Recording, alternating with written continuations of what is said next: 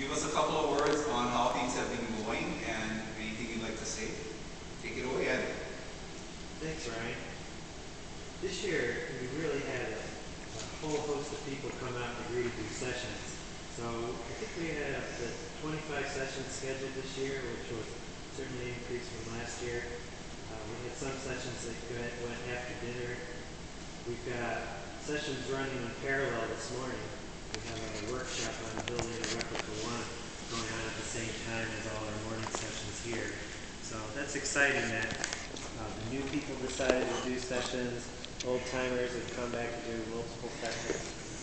And just to pick out one that, that I enjoyed, uh, new attendee named Ivan Drucker came out and did a session on the Apple IIe card that goes inside your LC computer, LC Mac.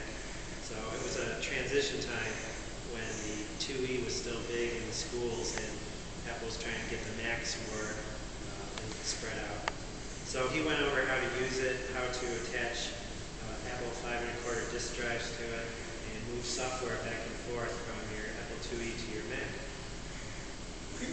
And, and I do have to say that um, one of the things that I've been pretty impressed with at this Fest is that we've had a lot of new people, period, and a lot of those new people have um, gone ahead and, and given presentations, or at least not been very shy at all, which is which is a really good thing.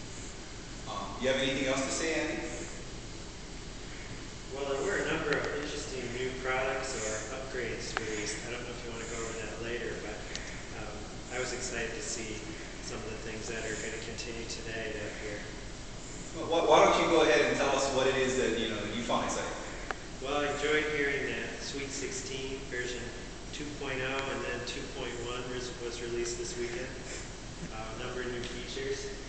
And, and actually, in, in the beauty of this live podcast recording, we have Eric Shepherd of Syndicomm, Sheppy, the programmer behind Sweet 16. If he'd like to say anything about it, he doesn't look like he wants to say anything about it yet. Yeah. Sheppy.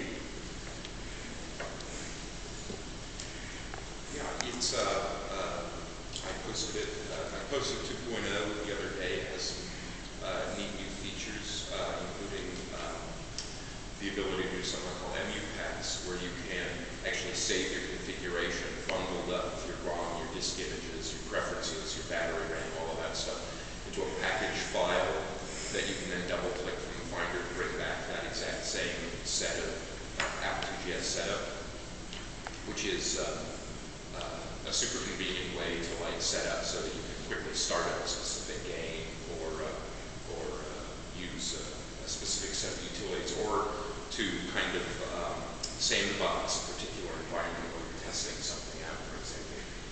Um, then I had to release 2.1 because we found Ryan actually found a, a serious bug right after, I mean, like hours after I posted 2.0, so I rushed out to 2.1 that uh, fixed that, and also added uh, some menu options quickly uh, resizing GS screens, screen sizes, uh, so that you can better take advantage of big screen